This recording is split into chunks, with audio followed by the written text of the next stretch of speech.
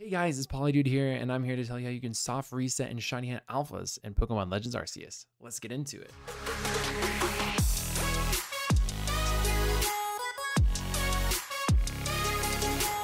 Hey guys, it's Polidood again, and welcome back to the channel. Appreciate you being here. And today I'm going to show you another how-to video. This one's going to be on soft resetting for shiny alpha Pokemon in Pokemon Legends Arceus. Uh, this is actually really cool. I learned this about a month ago, and I kind of wanted to share about it because I don't think a lot of people know that this is possible or exists, and it's actually kind of really fun to do. Let's go ahead and jump into it. The first thing is kind of just a prep step, uh, and that's going to be making sure that you have the um, massive mass outbreaks unlocked. So I'm not quite sure if this is a post-game thing strictly, or if you can get it uh, pre-post game. Um, I did it when the uh, update came out after I'd already beaten the game, so I, I don't really know for that, but that's something that's essentially you're going to need to have those massive mass outbreaks for these to work. And then we're going to go ahead and jump into the next step, which is the very first step. Uh, and that's going to be finding our target. So um, when picking a target, it's really important because some of these alphas, you're not actually going to be able to shiny hunt. It's really sad. Um, but we'll talk about that. Let's talk about what we can shiny hunt, and then I'll kind of go over some examples of uh, ones you can't shiny hunt. So um, let's go ahead and start off in the first area. We got the Obsidian Fieldlands, which you're going to have Alpha, al Alpha, you're to have Alpha Alakazam, Alpha Bibarel, Alpha Floatzel, Alpha Luxio, the Crimson Mireland, you're going to have Alpha Ursaring, Alpha Skuntank, Alpha Yanmega, Alpha Onix, and Alpha Toxicroak. Uh, Cobalt Coastlands, you're going to have Alpha Octillery, Alpha Machoke, Alpha Drapion, and that's going to be it for that. Pretty small, but the Coronet Highlands are going to have the most here with Alpha Steelix, Alpha Rhyperior, uh, Alpha Probopass, Alpha Electivire, Alpha Gligar, Alpha Golem, Alpha Carnivine, and Alpha Mothim. So there's some really good targets in there. But uh, last but not least, we're going to have the Alabaster Icelands, which is going to be Alpha Mamoswine, Alpha Glalie, Alpha Garchomp, Alpha Abomasnow, and Alpha Gardevoir. So those are pretty good ones too. Um, a lot to choose from. However, you're not going to be able to do um, ones like the Heracross and Obsidian Fieldlands, the Snorlax there as well, um, the Lopunny, or any of like generation four starters, any of those alphas. And that kind of will tie into how this works. Um, and so we'll do that in the next in the next step and talk about. So, um, but yeah, we're gonna go ahead and jump into that. Um, the first thing I want to do is just show you some gameplay, and I can do it right along and show you exactly how to do it. So I'm gonna go hop over there. All right, hey guys, I'm over here in the gameplay, and we're gonna show you exactly how to set up for a soft reset shiny hunting. So the first thing that we're gonna do is pick our target, obviously, which uh, in this example, I'm gonna go for Floatzel. So that's gonna be here in the Obsidian Fieldlands. Um, yeah, let's just go to Fieldlands camp. So, um, and I'll kind of explain how this works right now, kind of while I'm getting there. So essentially how this works is um, all the alphas, as you know, have a specific spawn spawn point, right? So um, they'll always show up there 100% of the time. Um, well, this is an exception with the massive mass outbreaks. Um, this is because there are those groups or the outbreak that actually spawn right over the top of the alpha spawning. So essentially, it kind of suppresses the alpha from spawning. So there's kind of a little um, way you can kind of trick the game into giving you an alpha spawn um, because the alpha spawn isn't there.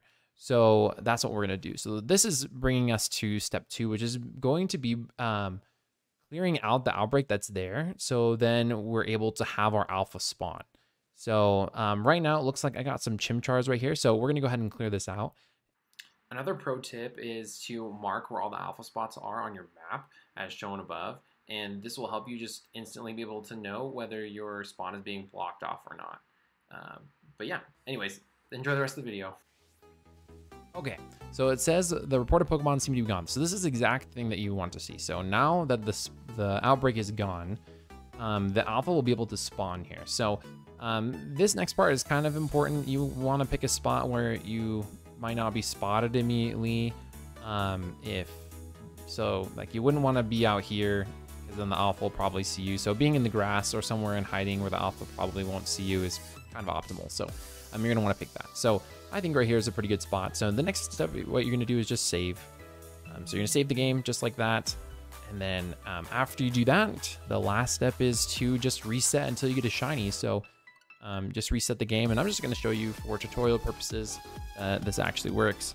Um, and kind of show you how to make sure that you're doing it correctly and you're getting a new spawn. So Um, one thing that I want to do in the future is also make a um, tutorial on how to do soft resetting for Sword and Shield.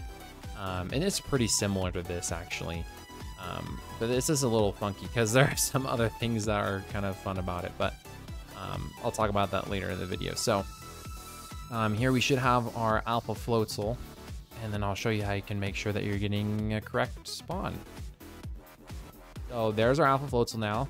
Um, yeah, unfortunately you don't spawn crouching. I forgot about that part, but that's okay. So um, as you can see, our Alpha Floatzel, if you get close enough, oops, able to hit the left trigger and see that this is a, a, a male. So um, you'll want to check when you reset the next time, as I'll do, just make sure that that's a female. Um, and then that way you'll know that you're getting a brand new spawn each time. It's not the same. And that means that it can be shiny. So essentially right now we are able to shiny hunt this Alpha Floatzel. Um, and you just keep going until you get the shiny, just like any other soft reset. Now, the kind of cool, um, funny thing about this way of uh, shiny hunting and doing a soft reset is you're actually able to phase. So in my attempts to try and get the shiny Alpha Steelix, I've I phased like three times. And so what I mean by that is, um, so see over there, there's a, a Buizel. So that also has a new spawn, um, new like I guess spawns with it because it's anywhere in the area that the outbreak is. So it doesn't necessarily have to be, um, and see that's a female. So we know we did it correctly. But here's another Buizel.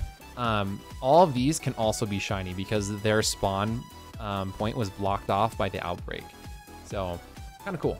Um, so if I didn't even get this, you could say and try to, let's say you got the shiny Buizel instead, you can phase on it now, if you do happen to phase and you want to take the Shiny Buizel, you will have to unfortunately reset up the entire hunt over again.